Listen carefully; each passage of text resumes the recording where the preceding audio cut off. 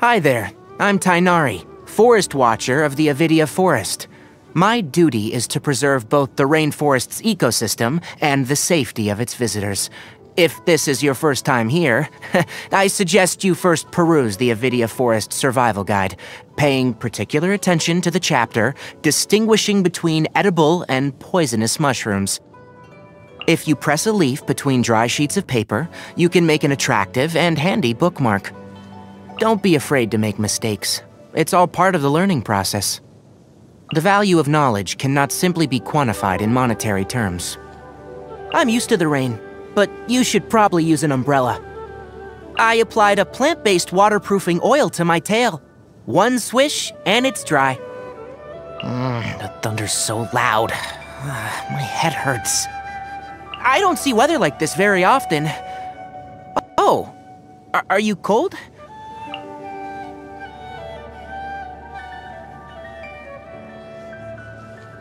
I don't see weather like this very often. Oh, are, are you cold? If you want, you can tuck your hands into my tail. My ears, my ears, they're gonna be blown inside out. Uh, it's so hot. Even a mist flower would melt in this heat. Uh, now that I think about it, it, it wouldn't, but you get what I mean. Shh, listen. That's the sound of dew dripping upon the leaves. During lunch breaks, I like to sit in a tree and admire the sunlight streaming through the canopy. If I'm not careful, I'll fall asleep. Good evening. I'm preparing to go observe bioluminescent flora. Wanna come? Get some sleep. I'll be on guard duty. It'll be a good time to write today's patrol log entry. I studied botany in the Amurta Darshan. My academic advisor wanted me to join the faculty after graduation, but to be quite honest, I prefer a somewhat freer research environment. From my observations, the way that the academia handles certain matters leaves much to be desired. Fortunately, my advisor didn't push the issue. Not like that would have worked. Hmm. Many people think that my kind are loners, and I don't blame them for thinking that. The few of us around are mostly scholars, and we're always chasing our research, so you'd be lucky to spy a single tuft of tail fur in a whole year. Like my father, for example. He's an entomologist, and lately he's been studying the evolution of beetles in the desert. I have no intention of joining him. I'm ashamed to admit that I, I don't tolerate the sun very well. Prolonged exposure turns my brain and body into mush. I believe that the best way to achieve mutual understanding with someone is to spend time with them. Other methods are less realistic. That's why there is no need to rush introductions. Time will settle everything. Are we officially friends? What, so this sort of thing needs official documentation now? Ah, okay then. Well, hand over your friendship certificate. I assume it'll need my signature. I remember praying as a kid that if I were lucky enough to receive a vision, it had to be a Dendro one. It wasn't because of research. I just wanted to make a vine ladder to reach high-hanging fruit. I've heard about the Aranara for some time now, but I haven't personally seen any. Sometimes I hear rustling sounds from the forest's depths, but they disappear when I go closer. That's a good thing, though. At least they know how to protect themselves.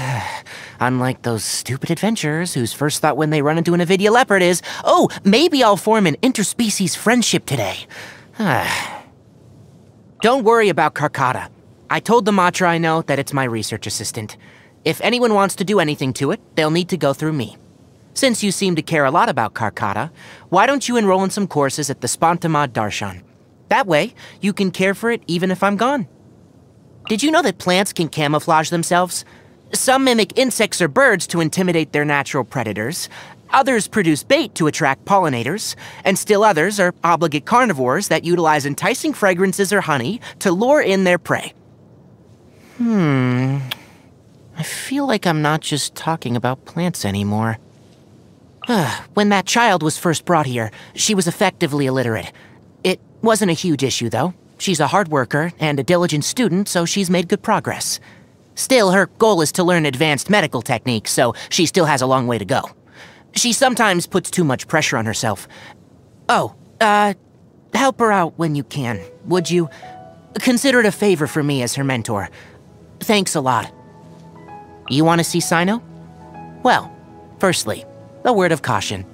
If he ever comes chasing you down for work-related reasons, prepare for the nightmare of a lifetime.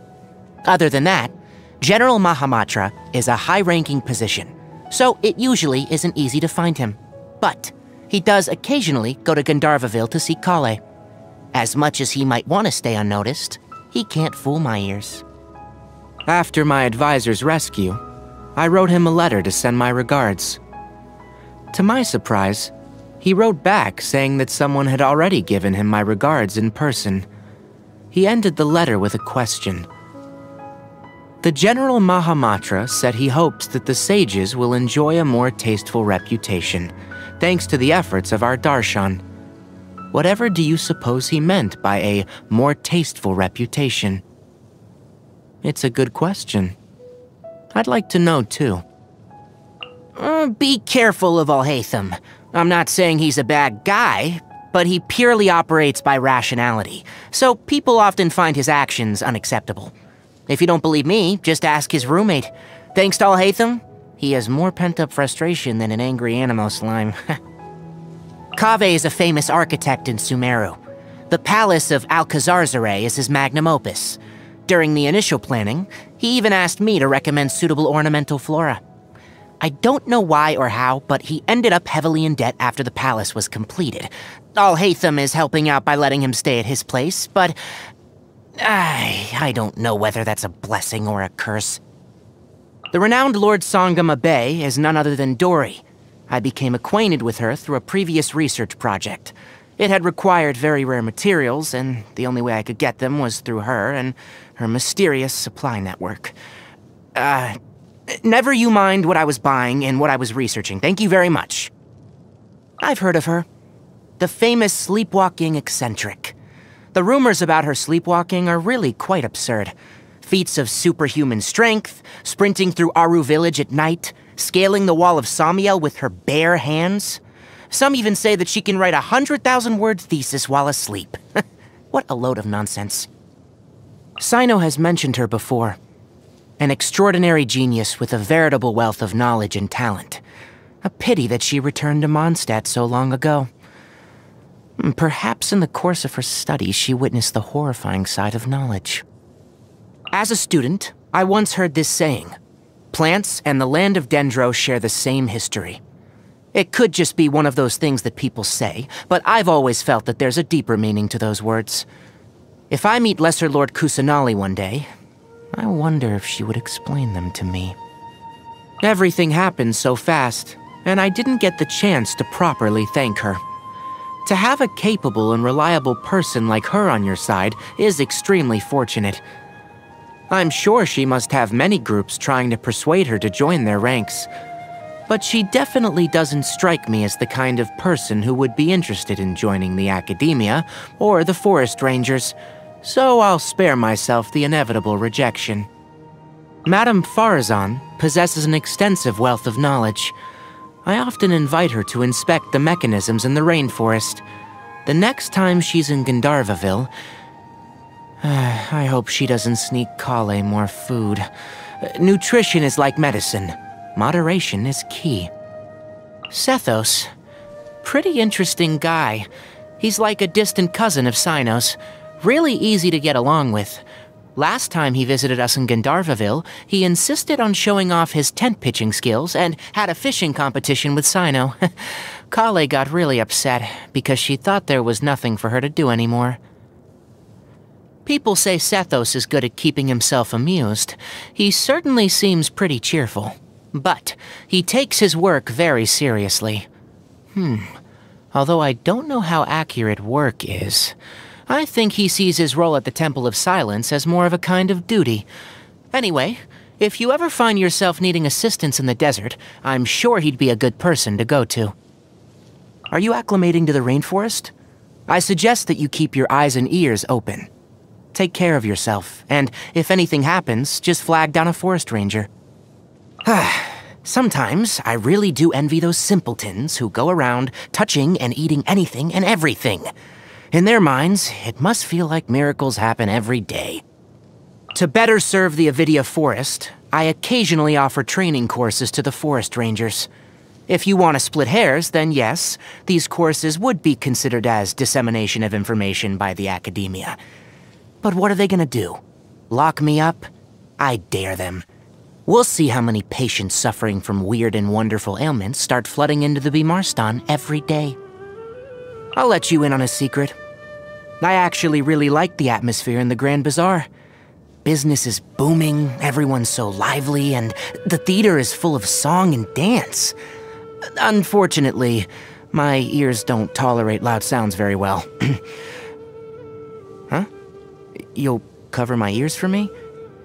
Uh, it, it'd be way too hard to walk like that. Thanks for the thought, though. I had many beautiful and fantastical dreams as a child, but they vanished from my memory one day after I grew up. Uh, do you still have dreams? Tell me about them. Leaves and flowers often drop onto the ground of the Avidya forest, sometimes perfectly intact. Leaving them on the ground would be such a pity. I can't help but pick them up and keep them as biological specimens. They can be used as educational materials for forest rangers or as decorative pieces. Very versatile. Hmm, troubles. Let me think. Pollution in the Avidya forest, adventurers who constantly stir up trouble, and rescue dogs that always want to mess with my tail. But these problems all have solutions. If you're talking about bigger concerns, then I really don't have any. In this regard, the life of a forest watcher is pretty simple. This may sound strange, but although the blood of a carnivore runs through my veins, mushrooms are the one food that I can't give up. There are many species of edible mushrooms, whether fresh or dried, they all give off a unique scent.